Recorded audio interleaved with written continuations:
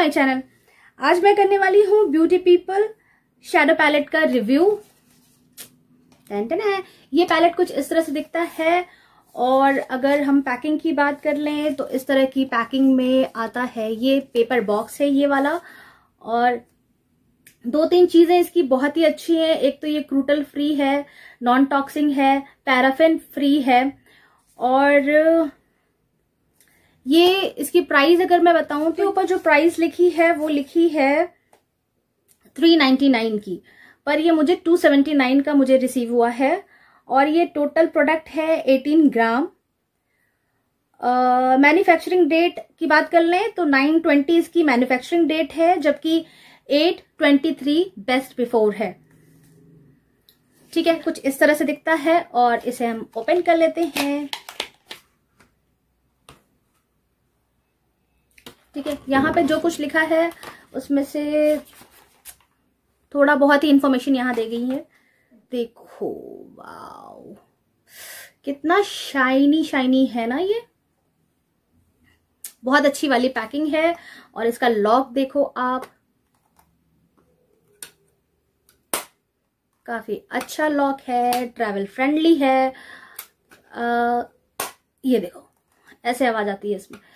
तो अच्छा वाला लॉक है काफ़ी अच्छा सुंदर गुड लुकिंग पैलेट है।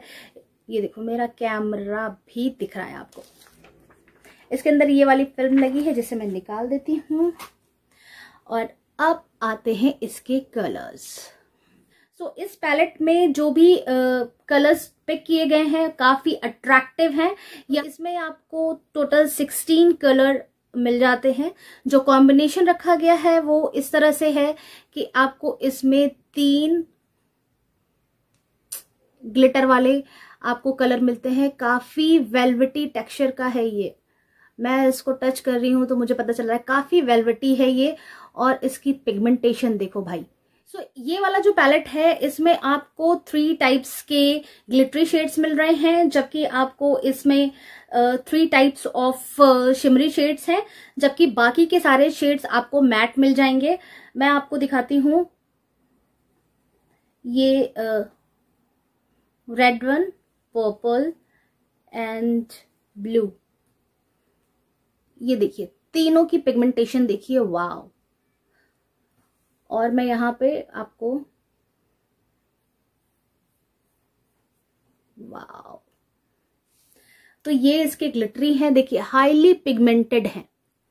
एंड अब मैं आपको शिमरी शेड सिखाती हूँ this one golden and red one and the third is blue one three आपको ये आ, मिल जाते हैं शिमरी शेड्स एंड अगेन मैं तीनों को यहाँ पे दे रही हूँ।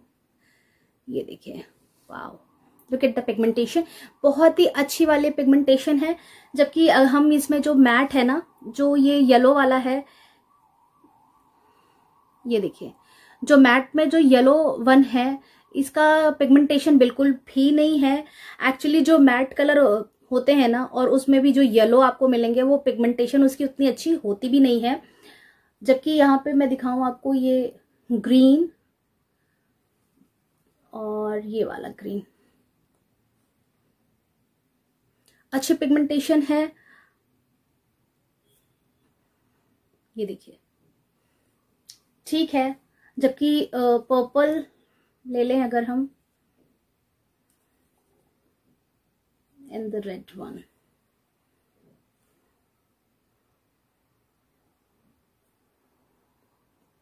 ये देखिए, बहुत अच्छी पिगमेंटेशन इन मैट शेड्स की नहीं है। इसे आपको बिल्ड करना पड़ेगा।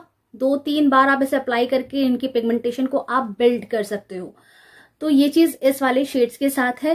बाकी कल, अगर कॉम्बिनेशंस की बात की जाए तो अच्छी है। जैसे आप ये ब्लू अप्लाई करके पर्पल अप्लाई करके उसके ऊपर ये वाला शेड अप्लाई करो तो काफ़ी अच्छा लुक निकल के आएगा। इसके जो ये ग्लिटर्स हैं, ये इतने अच्छे, इतनी अच्छी क्वालिटी के हैं कि आप देखो, बिल्कुल भी फॉल आउट नहीं हो रहा है। बिल्कुल भी फॉल आउट नहीं हो रहा है। आपको जो भी शिमर्स है ना, इसको लगाने इसको लगाने से पहले आपको ग्लू अप्लाई करने की ज़रूरत नहीं है। तो ओवरऑल गाइज़ अच्छा पैलेट है। अंडर थ्री हंड्रेड बहुत ही अच्छा पैलेट है। सो so फ्रेंड्स ये था मेरा छोटा सा review like share and subscribe करना बिल्कुल मत भूलिएगा। मिलूँगी आपसे एक नेक्स्ट वीडियो में, तब तक के लिए बाय बाय टेक केयर